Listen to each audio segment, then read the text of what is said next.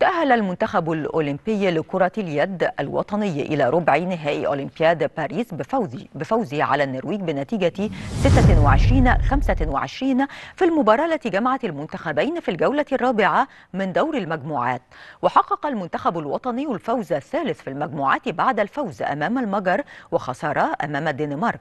ومن ثم التعادل أمام فرنسا والفوز أمام النرويج.